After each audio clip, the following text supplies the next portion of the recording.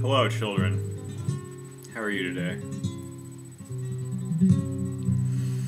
This is your boy, the Knife House, as usual.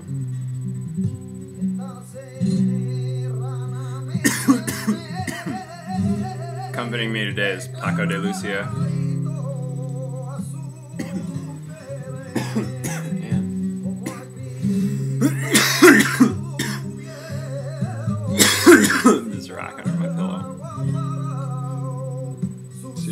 Sweet, right? When the light hits it. Yeah. Labradorite. It's pretty good stuff. You should get yourself some.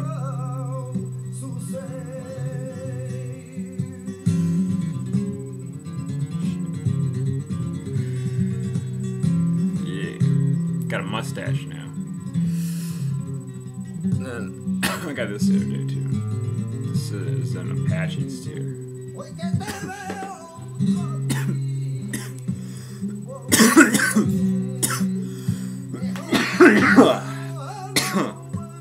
Smoking a roach joint. Oh yeah. You know, the thought dawned on me the other day. Maybe I should quit smoking so much weed. But that dawned on me when I was tripping on other drugs, so.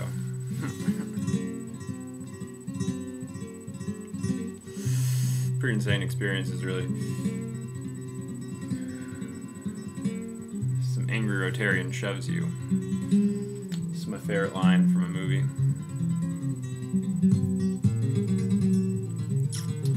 Um, well. Hi. Hi, kids. How are you today? See this picture of Jeff Rowley in the background? It's so hard to do this backwards.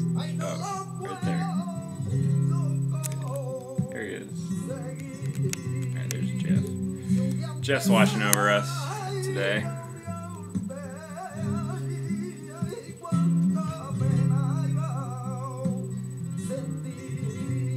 Alright, this. This is a pipe.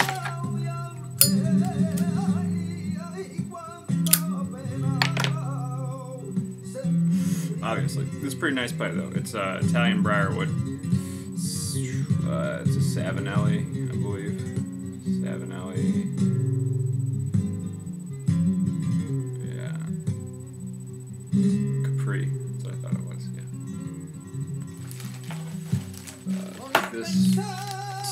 Millennium. Up at my, my local shop. Smoke shop. My little tool here. About to like make sure this bitch is cleared out, which should be uh, note to all people who, is, who are aspiring to smoke pipes. You should clean your pipe after every use, preferably with pipe cleaners and such. Blowing through this and blowing through this like I just blew through it. Something came out. I obviously didn't clean it out very well because I'm lazy, and this pipe's kind of broken right now, as you can see on the bottom. There's a crack, and I need to get a new mouthpiece and stuff. I just haven't had the time or the money to do it.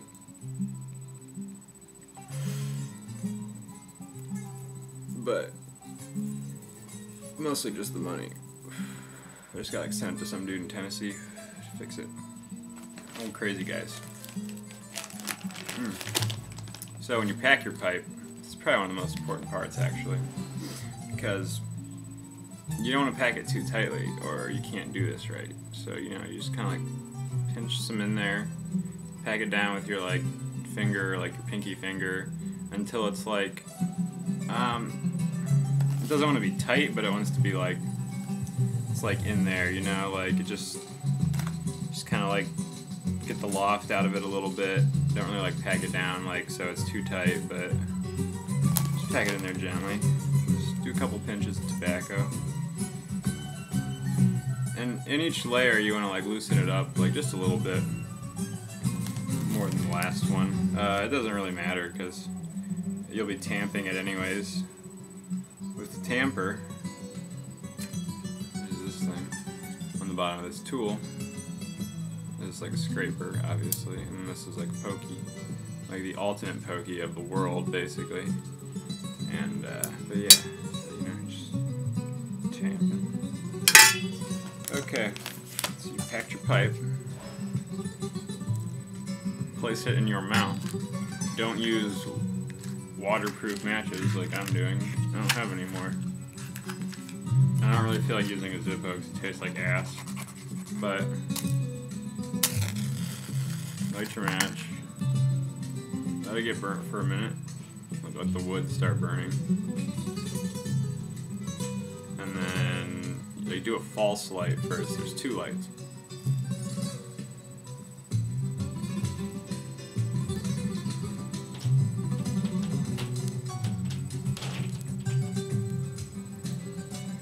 So like I did that and like can't really see in the bowl. But what happens when you do that is the tobacco like kind of like curls up and out of the bowl a little bit. And like so you just like pack it down a little bit more and like get it ready. Like cause you just kind of like I don't know. Just do it. Take my word for it. Just false lights.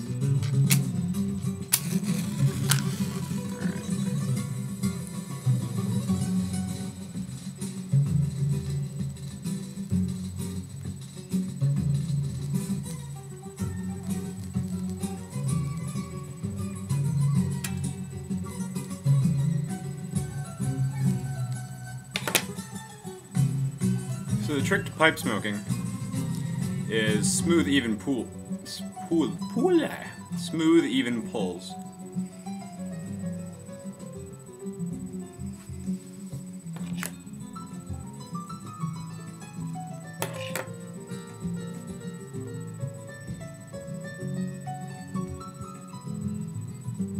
Because if you do that, keeps it burning evenly and it keeps the bowl from getting really hot and making you have like a really harsh smoke.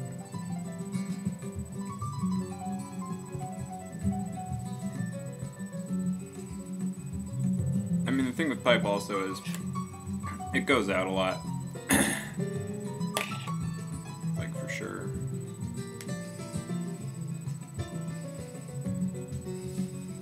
So you just like light it.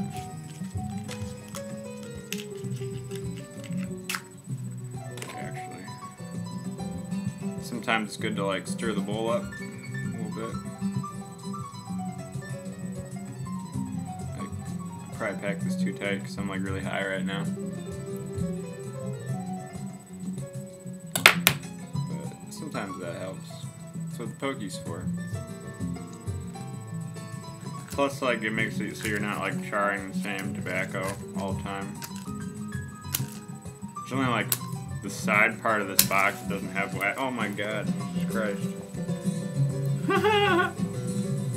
Just had a match head fly off into like my dick basically. That was super intense.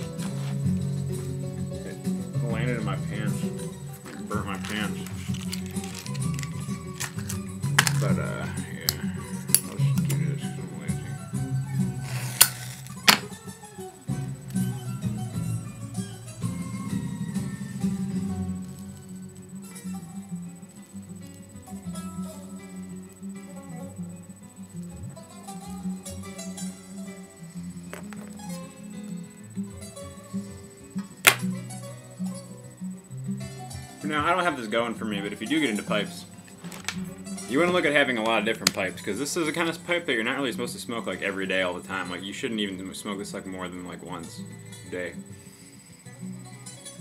I mean, you can. It's not really gonna do anything like that bad to it, but like it lets the wood rest and like collect resin and stuff and like taste good. But as for this pipe, it's already broken in. It was bought at a flea market, so like I don't really give a fuck. And they're expensive. I was gonna buy a Meerschaum pipe. which Should smoke a lot. Those are good. Look into it. They're really fragile though. It's not for everyone, but it's a good thing to relax. Better than cigarettes. Anyways, y'all. Hope you enjoyed the video. Have a good day.